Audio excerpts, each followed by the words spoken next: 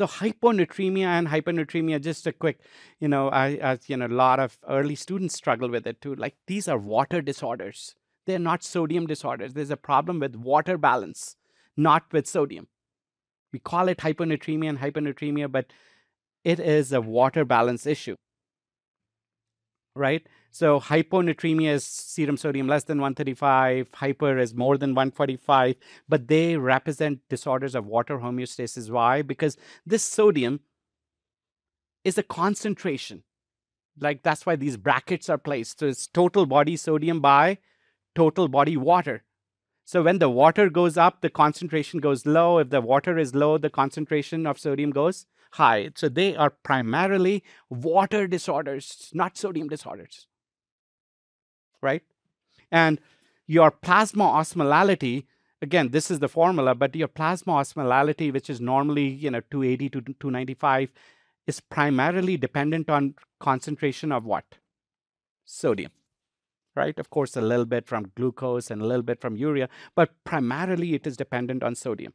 So if you drink a lot of water, let's say somebody told you that you got to cleanse your toxins in the body and you got to drink 8 to 10 liters of water what's going to happen? You're going to drink 8 to 10 liters of water as soon as your plasma osmolality goes below 280 or your serum sodium comes anywhere close to 135 what should happen?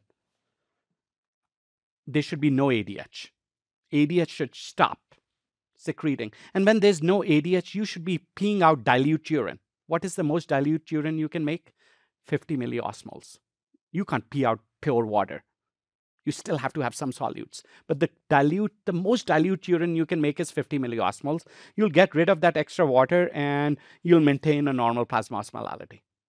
Right? This is what happens when you start drinking a lot of water. But if you drink, of course, if you drink a lot of water very suddenly or more than 12 liters of water in a day, you can't get rid of that water and you'll become you'll you know you'll end up in trouble.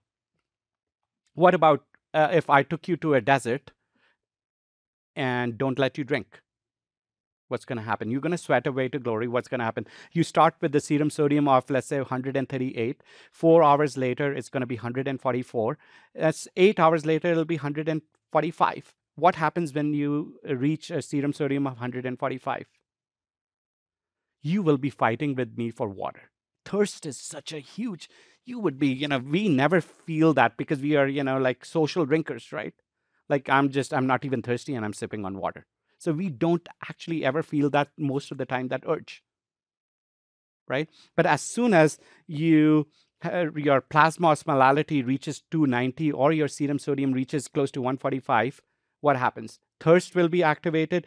And what is your kidney going to do? ADH is going to be really, really, really, you know, uh, be very high, and you're going to pull out all the water, and your urine is going to be that dark yellow, uh, which is a plasma osmolality of 1200.